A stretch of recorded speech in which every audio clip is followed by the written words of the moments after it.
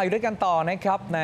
ช่วงเวลานี้นะฮะถามไม่อ่านกับอันพัวนาถครับในช่วงของข่าวเที่ยงของช่องจีเอ็มยี่สิบห้ากันนะฮะต่อเนื่องกับที่เมื่อสักครู่นี้เราคุยกับคุณโบชยดากับเหตุการณ์ที่เกิดขึ้น ไฟไหม้รถของเธอนะครับซึ่งยังไม่ทราบสาเหตุที่ชัดเจนกันสักเท่าไหร่นะครับถึงแม้ว่าจะมีการเตือนภัยกัน แล้วคุณโบเองก็บอกว่าอะเรื่องนี้จะได้เรียนรู้กัน แล้วก็เตือนทุก ๆ คนนะครับรวมถึงคนในครอบครัวแล้วก็น้องอาชิซึ่งคือลูกของเธอด้วยว่า ถ้าเกิดเหตุการณ์ขึ้นอย่าประมาทเราต้องตัดสินใจอย่างมีสติอย่างรวดเร็ว แต่จริงแล้วการเตือนภัยที่ดีสุดคือควรจะต้องเข้าใจก่อนแหละครับว่า แล้วปัญหามันเกิดจากอะไรนะฮะเพราะว่า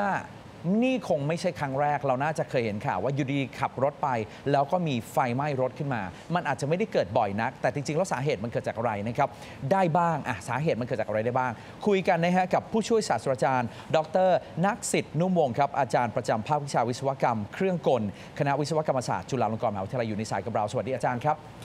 ครับ สวัสดีครับครับผมอาจารย์ครับ อาจารย์ได้เห็นข่าวของคุณโบเซียดากับรถตู้ของเธอที่ไฟไหม้ไปแล้วใช่ไหมครับผม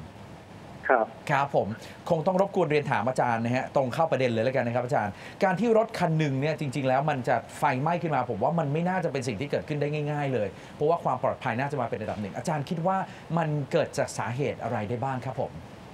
ครับหลักๆก็จะมีอยู่สองระบบด้วยกันนะครับ ที่น่าจะทำให้เกิดไฟไหม้ในรถยนต์ได้นะครับ ระบบแรกก็คือระบบเชื้อเพลิงนะครับ ซึ่งอาจจะเป็นระบบน้ำมันหรือระบบแก๊สขึ้นกับว่ารถคันนั้นใช้ระบบอะไรนะฮะแล้วก็ส่วนที่สองก็จะเป็นระบบไฟฟ้าในรถยนต์ครับ ครับผมซึ่งไอ้พวกสายไฟพวกนี้ถ้าเกิดเราอ่าใช้งานไม่ถูกวิธี เช่นมีการอ่าโมดิฟายมีการติดอุปกรณ์ต่างๆเพิ่มที่ใช้ไฟเยอะเนี่ยก็อาจจะทำให้เกิดการอ่าใช้ไฟมากเกินไปแล้วก็สายไฟไหม้หรือว่าระวงจรได้ครับ ครับ นั่นหมายความว่าถ้าเอาเอาเอาทีละอันแล้วกันนะครับอาจารย์ครับ ถ้าสมมติว่าเป็นระบบไฟฟ้าอาจารย์คิดว่ามันจะเกิดขึ้นเมื่อมีการไปโมดิฟายมัน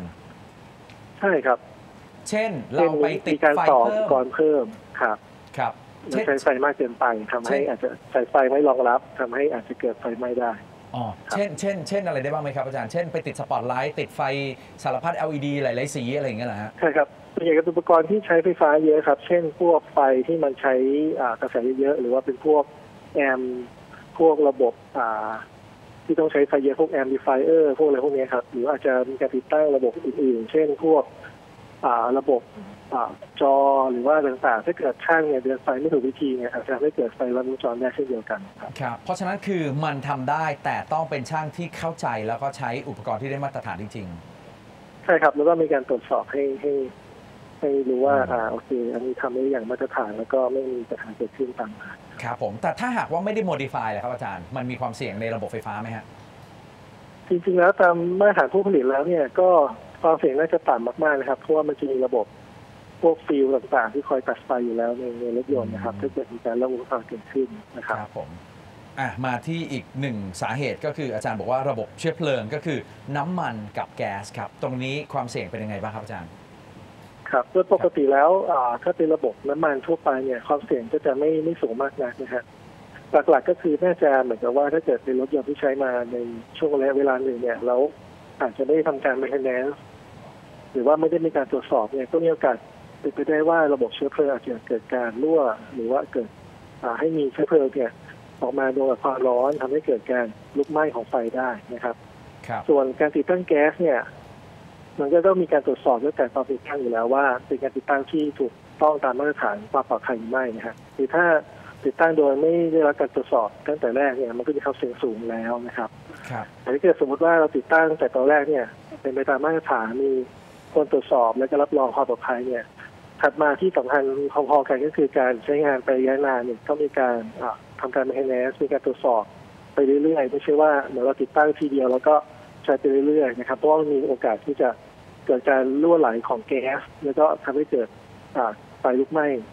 ในในรถได้นะครับ ครับผมอาจารย์ครับอย่างระบบแก๊สเนี่ยฮะช่วงนี้เราอาจจะไม่ไม่ไม่ค่อยรู้สึกว่าโอ้มันมันฮิตเท่าเมื่อก่อน แต่จะมีช่วงหนึ่งที่คนติดรถแก๊สกันเยอะมากเลย เนื่องจากว่าอ่าค่าน้ำมันหรือว่าราคาน้ำมันเนี่ยมันค่อนข้างจะแพงนะฮะแต่ไงก็แล้วแต่สำหรับคนที่สนใจอยากจะติดหรือติดไปแล้วก็แล้วแต่เนี่ยวิธีการเลือกร้านที่จะติดแก๊สเนี่ยมันมีร้านที่ปกติแล้ว ถ้าจะได้มาตรฐานที่อาจารย์บอก มันต้องมีใบรับรองจากหน่วยงานไหนเป็นเป็นมาตรฐานที่ต้องขออนุญาตไหมครับว่าอะร้านนี้ ผ่านการตรวจสอบแล้วว่าได้มาตรฐานในการติดตั้งมันมีมันมีการให้เซอร์ติฟายแบบนี้ไหมฮะมันก็จะมีทางกรมขนส่งครับ ที่เป็นคนคอย certify เรื่องการติดตั้งคือต้องคือการติดแก๊สก็มีวิศวกรคอยเซ็นรับรอง อยู่แล้วครับก็คือต้องตรวจสอบดูรางที่เขามีรับการอ่าตรวจสอบแล้ว แล้วก็มีวิศวกรคอยเช็คแล้วก็ตรวจสอบ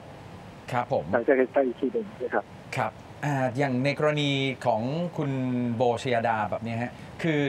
แค่ถามความเห็นนะอาจารย์ อาจารย์คิดว่าเท่าที่ฟังน่าจะเกิดจากอะไรฮะเขาบอกว่าขับรถไปแล้วเนี่ยมันมีอาการเหมือนกระตุก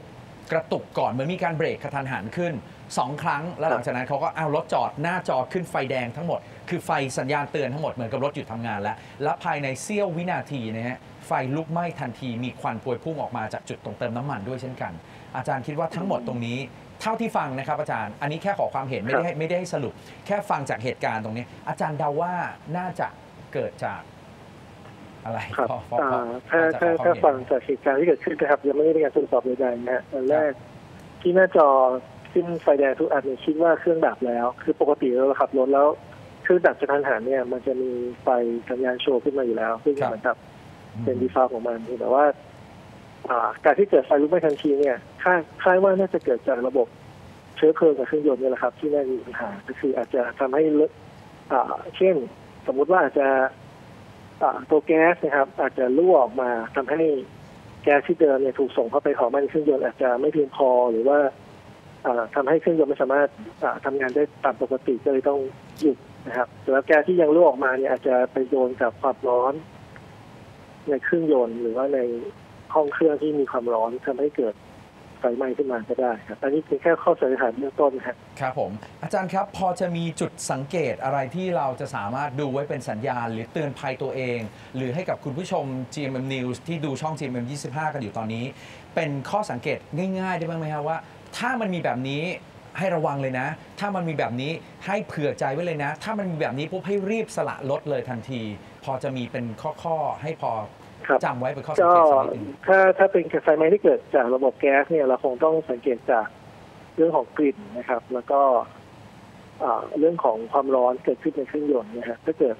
เครื่องเนี่ยมีลักษณะของ overheat คือไฟเครื่องยนต์โชว์ว่าร้อนเกินไปเนี่ยอาจจะต้องระวังไว้ก่อนว่าอาจจะเกิดผลตามมาคือเรื่องของไฟลุกไหม้ก็ได้นะครับครับ ถ้าเกิดเราได้กลิ่นแก๊สเนี่ย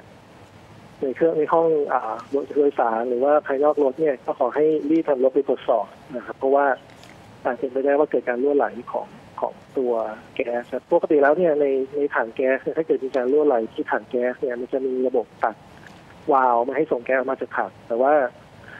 อ่าถ้าเกิดมันเป็นรั่วไหลในห้องเครื่องเนี่ยมันอาจจะมีแก๊สที่อยู่ในท่อที่อาจจะเพียงพอทำให้เกิดไฟไหม้ได้เช่นเดียวกันครับถ้าเกิดครับได้ยินอ่าได้กลิ่นแก๊สเนี่ยก็ขอให้ระวังนะครับ ส่วนเรื่องของอาถ้าเกิดไฟไหม้จากเรื่องระบบสายไฟเนี่ยอาจจะสังเกตได้ค่อนข้างยากนะครับ ก็อาจจะ สังเกตว่าถ้าเกิดขับรถไปแล้วมีอาการฟิวขาดบ่อยๆนะครับก็ให้ตรวจสอบระบบไฟฟ้าในรถยนต์นะครับ หรือว่าถ้าเกิดสายไฟที่บางเส้นที่เราอาจจะเห็นหรือสัมผัสได้เนี่ยเรารู้สึกว่ามันร้อนผิดปกติเนี่ยก็อาจจะเป็นได้ว่าเกิดการลัดวงจรหรือว่าไฟมันไม่เหมาะสมกับสายไฟที่ใช้อยู่เป็นต้นนะครับ ก็ต้องให้ทำการตรวจสอบแล้วก็แก้ไขโดยเร็วครับครับ หลายคนเห็นข่าวแบบนี้แล้วเขาบอกว่าน่ากลัวจังเลยตอนนี้คือระแวงไปเลยทีเดียว มันมีความน่ากลัวหรือต้องหวาดระแวง หรือควรจะต้องระวังภัยเรื่องนี้มากน้อยขนาดไหนกับโอกาสที่มันจะเกิดขึ้นโดยทั่วไปครับอาจารย์ครับก็ถ้าถ้าผู้ขับขี่แล้วก็เจ้าของรถทุกท่านเนี่ยหมันตรวจสอบรถอยู่เสมอนะครับ แล้วก็คอยสังเกตเนี่ย